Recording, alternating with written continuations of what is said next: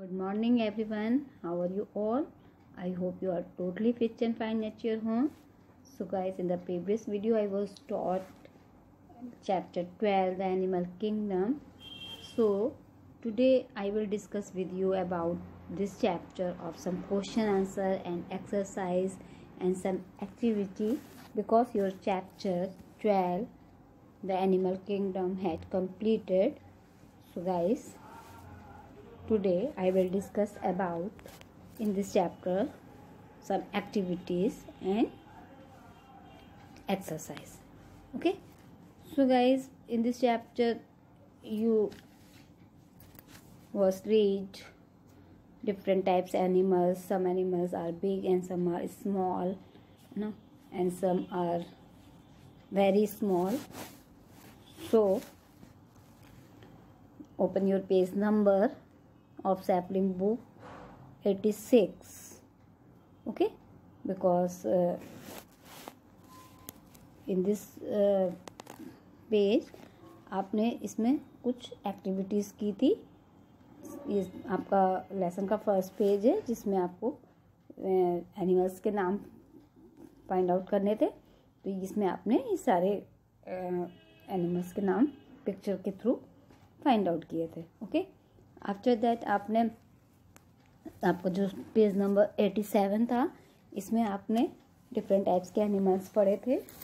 इसमें कुछ animals big थे, कुछ स्मॉल थे, कुछ वॉचर एनिमल्स थे, है ना? तो इनसे रिलेटेड बहुत से क्वेश्चंस बन सकते हैं। जैसे where do wild animals live okay and जो वॉच आर पैच एनिमल्स है ना? And why do birds live in nests है ना? Which is the largest animal who give us honey तो इस टाइप से आप बहुत सारे क्वेश्चंस के आंसर्स दे सकते हैं, है ना? तो where do wild animals live wild animals live in a forest which are pets animals animals that live in our homes with us are called pet animals है ना? तो आपने wild animals and domestic animals ये सारी चीज़ें आपने इस chapter में पढ़ी थी। तो एक एक रिवीजन के तौर पे मैं आपको ये चैप्टर करा रही हूँ कि इसमें आपने वाइल्ड और डोमेस्टिक एनिमल्स जो पढ़े थे, से रिलेटेड किस तरह से आप क्वेश्चन आंसर्स कर सकते हो, है ना? Which is the largest animal in the world the blue whale is the largest animal in the world है ना? एंड बच एनिमल्स के होम्स भी आपने पढ़े थे कि लॉइन कहाँ रहता है है ना? और ये आपका टाइगर कहाँ रहता है रैबिट कहाँ रहता है स्नेक कहाँ रहता है? तो इस तरह से आपने उनके होम्स भी पढ़े थे। इसके अलावा भी आपने बहुत सारी चीज़ें इसमें पढ़ी थी, जिससे रिलेटेड आप क्वेश्चन आंसर्स इजली कर सकते हो मैचिंग कर सकते हो, है ना? एक match the animal to its home करके आप एक मैचिंग कर सकते हो। लाइन कहाँ रहता है? डेन में। फ़िश कहाँ रहती है? वॉचर में। बर्ड कहाँ रहती है? नेस्ट में। मंकी कहाँ रहता है? ट्री पे। तो इस तरह से आप एक एक्सरसाइज भी मैचिंग की आप इससे कर सकते हो। After that tick the correct answer type से भी आप आंसर दे सकते हो। जैसे कि hen and dogs give us, honey, milk, eggs, इसमें से हन और डैक क्या देते हैं?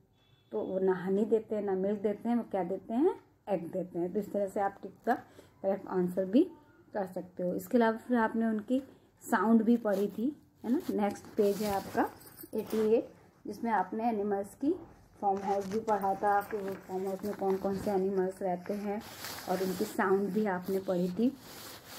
कि किस एनिमल्स की कैसी साउंड होती है है ना?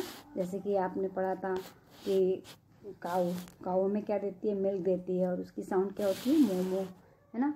इसी तरह आपने पढ़ा था हॉर्स हॉर्स कहाँ रहते हैं? स्टेबल में रहते हैं और उनकी साउंड क्या होती है? ने ने। इस तरह से हैन कहाँ रहती है? कूप में रहती है और उसकी साउंड क्या होती है? क्लुक क्लुक हमें क्या देती है? एग देती है। डॉग डॉग क्या करता है? हमारे गार्ड का काम करता है वो। और उसकी साउंड होती है वो बो, और वो कहाँ रहता है? कैनल में रहता है। इस तरह से आपने उसके होम्स भी आपने पढ़े थे।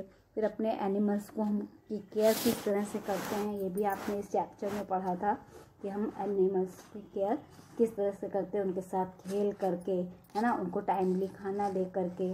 अगर वो किसी तरह से बीमार हैं तो उनको उनके डॉक्टर्स के पास ले जा कर के जो पेट्स होते हैं तो इस तरह से हमने इस चैप्टर में ये सारी चीज़ें पढ़ी हैं। आफ्टर दैट अब हम कुछ एक्सरसाइज करते हैं। तो open your page number ninety okay so what do these animals eat find out अब देखिए इसमें काउ टाइगर क्रो ये दिया हुआ है। अब काउ क्या खाती है? प्लांट्स है ना?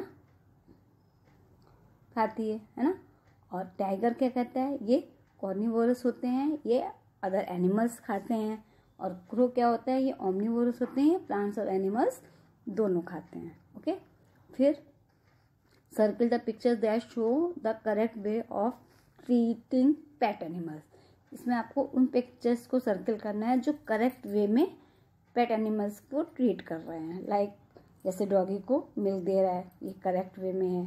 आफ्टर दैट वो पेट्स की पूछ देख रहे हो, टेल को घसीट रहा है तो ये नहीं सर्कल करना है क्योंकि ये करेक्ट वे नहीं है।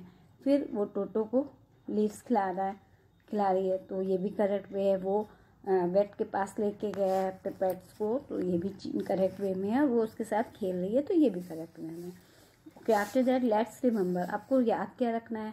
जैसे कि जो चैप्टर आप पढ़ रहे हैं, वो एनिमल्स का है तो एनिमल्स कितने टाइप्स के होते हैं? टू टाइप्स के होते हैं वाइल्ड एनिमल्स एंड एक डोमेस्टिक एनिमल्स डोमेस्टिक भी टू टाइप्स के होते हैं pets and farm after that match these animals to their homes अब इनको इनके होम से आपको मैच करना है है ना? जैसे मैंने बुक में कर रखा है, ऐसे आपको भी बुक में ही करना है एनिमल्स को देखना है, फिर उनके होम्स को देखना है, और फिर उसको स्लैंडिंग लाइन की हेल्प से आपको मैच करना है। तो आप देख रहे हैं बेयर बना हुआ है, उसको मैंने डेंस से हॉर्स बना हुआ है, उसको स्टेबल से काउ बना हुआ है, उसको शेड से एंड डॉग बना हुआ है, उसको कैनल से। ऐसे मैच करना है। After that John wants to keep a pet can you help him sort the given animals इसमें देखिए आपको कुछ यहाँ पर वर्ड्स दिए गए हैं और आपको इसमें ये करना है कि जो आप पेट एनिमल्स हैं, उनको animals he can keep as a pet उनको इस वाले ब्लॉक में फ़र्स्ट वाले ब्लॉक में लिखना है एंड जो को हम नहीं, जो हमारे पेट नहीं हैं, जिनको हम कहाँ नहीं रह सकते, घर में नहीं रख सकते, उनको उस वाले ब्लॉक में रखना था फाइंड आउट करना है। So I hope you have understood this guys हमने आपको एक एक्टिविटी भी दी थी चार्ट पे करने के लिए, है ना? जैसे कि हमने आपको बताया था कि आपको एक वाइट चार्ट पेपर लेना है, उस पर आपको सम वाइल्ड एनिमल्स ये तो आप ड्रॉ कर सकते हो तो ड्रॉ करिए अदरवाइज़ आप टेन पेस्ट करेंगे। और उसके नीचे उसका नेम लिखेंगे। उसी तरह आपको एक डोमेस्टिक एनिमल्स का भी चार्ट प्रिपेयर करना है। वो भी आपको एक वाइट चार्ट पेपर लेना है और उसमें डोमेस्टिक एनिमल्स जो हैं उनको या तो आप ड्रॉ करिए या तो कट पेस्ट करके उनके पिक्चर्स पेस्ट करिए। उनके नीचे उनके नेम लेवल करिए ओके तो ये काम आपको एक एक्टिविटी करनी है चार्ट पेपर पर। आ, इसके अलावा I am giving homework you will read this lesson the help of your parents and learn all difficult words all difficult words write five times in EVS notebook okay? And done all exercise given in book okay? So tomorrow I will meet you with the next topic. Till then bye bye have a nice day